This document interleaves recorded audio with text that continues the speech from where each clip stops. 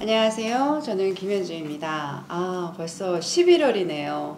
사실 지옥을 촬영하면서 오픈되는 날이 언제 올까 마냥 기다리던 때가 엊그제 같은데 벌써 11월이 왔습니다. 그리고 추위도 함께 왔는데 아무쪼록 여러분이 건강하게 잘 지내고 계셨으면 좋겠네요. 또 어제는 2022년 수능이었다고 해요. 여러분들 열심히 노력하셨을 텐데 어떻게 좋은 결과가 있을지 아, 궁금하기도 하고 많이 걱정되실 텐데요. 어, 하신 만큼 좋은 결과를 얻으실 수 있기를 어, 기대하고 기도하겠습니다. 또 이제는 11월이면 또 12월도 금방 올 텐데 또 한 해를 또 마무리해야 되는 그런 달이잖아요. 어, 올 한 해도 참 정신없고 코로나와 함께 지내느라고 많은 분들 고생하셨을 텐데 그럼에도 불구하고 올 한 해 잘 마무리하시고 또 새해를 맞이하는 그런 달이 되셨으면 좋겠습니다. 저는 이제 새로운 넷플릭스 오리지널 영화 정이를 출연하게 되면서 그 촬영을 열심히 하고 있고요. 또 이제 지옥이 오픈되면서 지옥에 관련된 홍보 활동을 열심히 하고 있습니다. 어, 그 외에 저는 특별하게 하는 일은 없는 것 같아요. 음, 정의를 잘 준비하고 있습니다. 체력 관리도 잘하고 있고요. 최근에 새롭게 어, 생긴 취미는 없어요. 없고 이제 계절이 계절인 만큼 또 다시 이제 뜨개질을 좀 많이 하고 있고 어.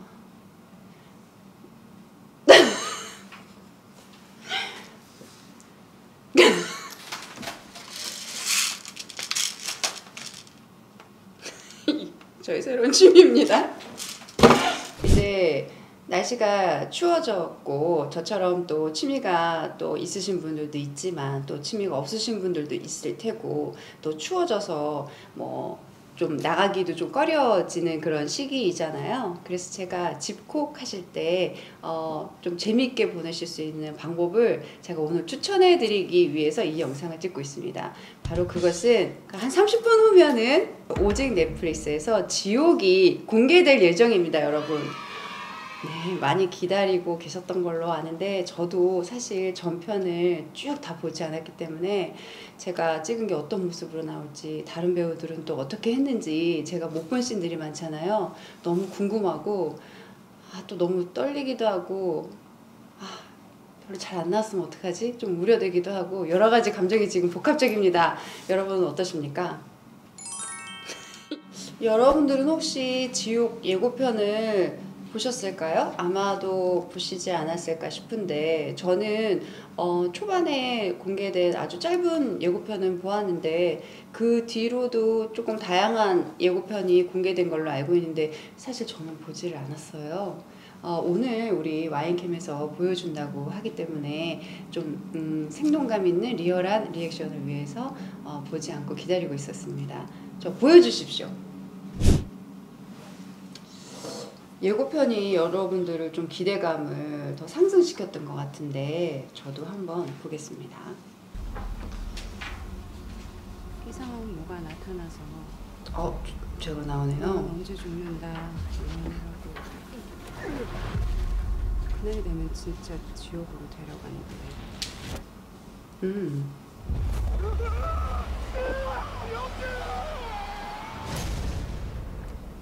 새진리회 뭐 사람들에게 경고하는 본보기 뭐 이런 개념인가 하는데 형사님들께서 수사를 다 하시네요. 그럼 우리가 아까 본 어, 그 길어졌네요. 분량이 고지라고 하더라고요. 제가 지옥에 가게 됐어요. 만약에 진짜로 나타난다면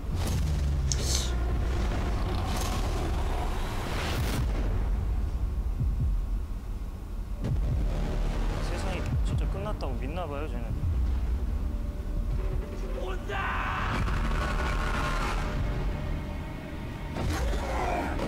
오 이런 장면도 있었구나. 아하 공포가 아니면 뭐가 인간을 참여하게 할까?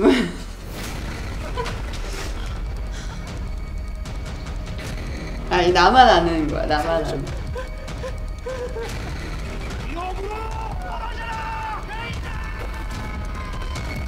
아, 이 장면이 압권이죠. 사람의 자율성이 만든 법 체계가 정말 정의롭다고 생각하세요?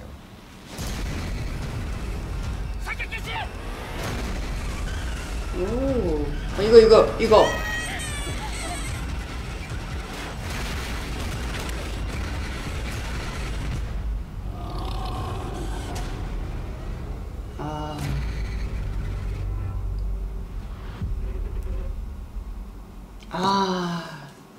이러니 여러분이 기대를 하실 수밖에 없겠네요. 이거 아주 흥미진진하고 이 괴물이 아 이거 보기만 해도 화면 밖으로 막 너무 탄내나 막 이런 아 막 그 좋지 않은 그런 냄새가 막 날 것 같지 않나요? 저는 이 괴물한테서 좀 그런 느낌이 그리고 괴물이 약간 윤기가 더 생긴 것 같아. 이제 한 20 몇 분밖에 남지 않았습니다. 아, 꼭 정주행 하실 수밖에 없으실 거예요.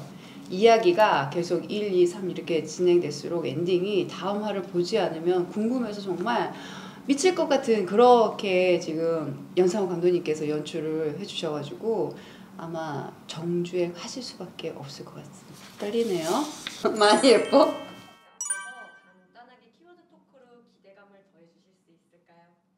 끌어줘?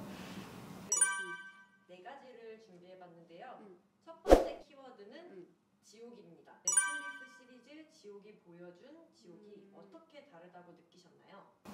그냥 어, 우리가 이제 막연하게 생각하는 지옥은 사후에 가는 세계를 지옥이라고 해요. 그죠?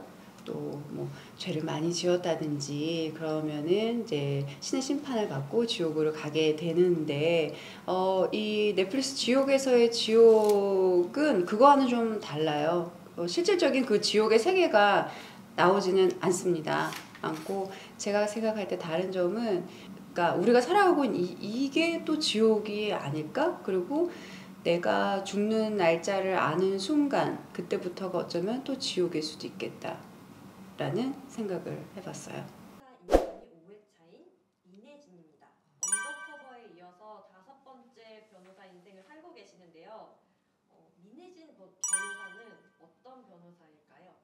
그 전에 변호사라는 직업 자체가 특성이 그렇듯이 좀 정의감이 있으면서 소수의 편에서 좀 그들을 위해서 대변하고 변호하는 그런 캐릭터들을 많이 맡아왔었고 어, 뭔가 그 대세에 맞서 싸우는 그런 음, 역할을 했었는데 민혜진도 역시 그런 성격은 갖고 있지만 가장 좀 인간다운 그런 음, 캐릭터이지 않나라는 생각을 해요. 왜냐면은 어 그 이 지옥 안에서도 얘가 굉장히 자기가 흔들리지 않는 거는 아니거든요. 많이 어, 흔들리기도 하고 또 어, 잘못된 길로 빠질 수도 있는 그런 유혹에도 또 어, 빠지기도 하고 그 마지막에 민혜진이 행했던 것들이 또 저는 정의롭다고 말할 수 있을까라는 의문을 좀 갖게 돼요. 그것 또한 정의일까? 또 의문을 갖고 있고 그렇지만 마지막까지 인간다움을 잃지 않으려고 노력했던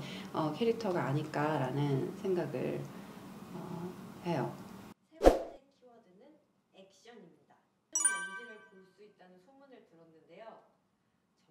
기대가 됩니다. 여기서 김현주에게 액션이랑 아, 저에게 액션이란 음, 숨구멍, 어, 또 다른 활력, 또 다른 생명력을 저에게 좀 불어넣어준 것 같아요. 항상 좀 감정이 짙어서 어, 그런 감정 노동이 많은 그런 캐릭터들을 좀 해왔었는데 물론 이제 액션에도 감정이 아예 무- 무인 거는 아니지만 그래도 뭔가 어, 대사나 어떤 것들로 감정으로 이렇게 보여주려고 애쓰는 게 아니라 이 몸으로 움직여서 하는 연기는 또 다른 느낌이더라고요. 그리고 이제 제가 저에게 조금 불만이 있었던 점은 이제 제가 몸을 잘 못 쓰는 사람이라고 저는 생각을 하고 있었는데 어 조금 해보니까 나름 운동신경이 있는 것 같고 몸을 쓸 줄 아는 사람인 것 같아서 그것만으로도 그걸 아는 것만으로도 저는 좀 꽤 큰 수확이었다. 아, 그리고 좀 스트레스가 많이 풀렸어요. 솔직히. 그러니까 잘하고 못하고를 떠나서 제 저 개인적으로는 스트레스도 많이 풀리고 좀 연기에 대해서도 좀 새롭게 다른 방향으로 눈을 떴다라고 해서 저는 굉장히 재밌게 찍었습니다. 네, 그래서 총을 굉장히 싸게 구입했는데 총알이 잘 안 나가더라고요. 비비탄이 조준이 잘 안 돼서 그냥 이렇게 보고 쏴야 돼요. 이렇게 아, 저기쯤이군 이렇게 쏴야 되고 이렇게 하잖아요. 그러면 절대 안 맞아요. 아무리 오조준을 해도 절대 안 맞아요. 그래서 그냥 대충 어 저긴가 보다 빵 맞더라고요. 아니 예뻐 많이 예뻐 색깔도 아주 고급지고 음. 가격 대비 아주 좋습니다.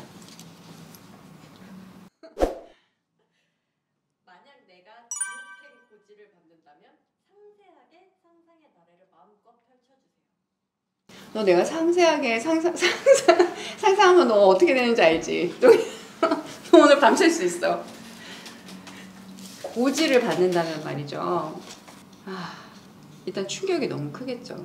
고지를 받으면 죽는다는 게 확실하다면 그렇다면은 남은 기간에 따라서도 어, 반응이 다를 수 있을 것 같은데 사실은 저는 그런 생각을 되게 많이 했었어요 평상시에 죽는 날짜를 알았으면 좋겠다라는 생각을 했었어요. 왜냐면 그 주변에 그 사랑하는 지인들이나 가족들이 어, 나도 모르는 순간에 갑자기 사고로 어, 내 곁을 떠나는 일들이 종종 있잖아요. 살면서. 그런 순간을 좀 견디기가 힘들다. 그리고 너무 아쉬움도 많고 미련도 많고 하고 싶은 말도 많았고 어, 미안한 것도 너무 많았는데 그런 것들을 다 풀지 못하고 떠나는 자이던 남는 자이던 이 너무 괴로운 일이다라는 생각을 했던 적이 있어서 어느 정도는 좀 알고 있다면 어, 서로에게 더 잘할 수 있지 않을까라는 그런 생각을 해봤어서 이 주- 지옥의 이 소재가 저한테는 좀 남다르게 다가오긴 했었어요. 근데 막상 이게 모르기 때문에 또 우리가 그렇게 살아가는 건데 안다고 또 잘할 수 있는 것도 아닌 것 같더라고요. 여하튼 그래서 저는 만약에 안다면 그냥 음, 주변 정리를 좀 많이 하게 될 것 같아요. 솔직히 제가 나갔다가 다시 집에 못 들어오는 순간이 있을 수도 있잖아요. 인생이 그런 거잖아요, 사실은. 너무, 음, 너무 갑작스럽고 슬픈 일이지만 사실은 그럴 수 있는 거거든요. 어, 그렇기 때문에 항상 좀 깨끗이 나갈 때 또 깨끗이 하고 싶고 제가 고지를 받는다고 하더라도 아마 그럴 것 같아요. 버릴 것들 좀싹 버리고 음, 나눠줄 수 있는 건 좀 많이 나눠주고 전 1번으로 그걸 할 것 같아요. 그리고 두 번째로는 음, 이제 사람들 만나서 고마웠던 거, 특히 미안했던 거 그런 것들은 좀 다 일일이 만나서 사과하고 싶어요. 만날 수 없다면 문자로도 좀 저는 그 두 가지일 것 같아요. 그리고 빠른 시간 안에 담담하게 받아들일 것 같아요. 어차피 이게 사실이라면 그, 그렇게 아파하고 괴로워하면서 어, 시간을 보내기는 너무 아까울 것 같아요. 안 해본 것도 또 한번 해보고 어 저긴가 보다 빵. 자 이제 한 15분 20분 정도 후면은 드디어 지옥의 세계가 열릴 텐데요.